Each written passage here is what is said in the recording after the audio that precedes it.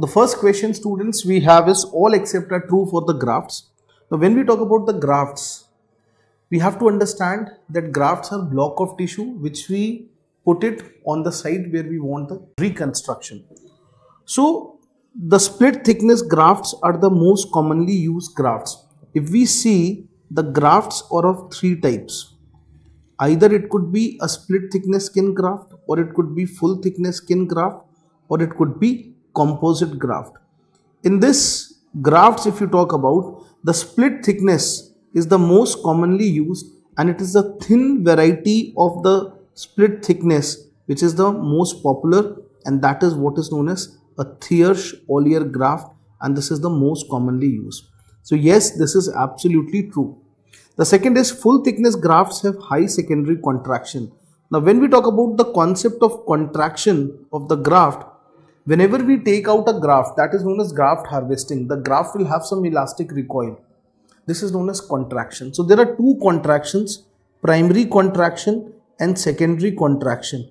What is a primary contraction? This is the contraction, this is the contraction after harvest, after harvest and before grafting before grafting and when we talk about the secondary contraction this is the contraction after the process of grafting. Remember the full thickness grafts they have low secondary contraction and therefore they are the best grafts. So this point is false. Split thickness grafts have low primary contraction. Yes since they are thin they will have a lesser.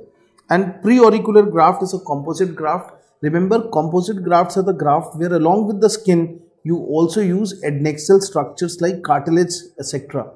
So when we talk about the tip of the nose, so suppose if you want to do a tip of the nose reconstruction, you require a posterior auricular graft.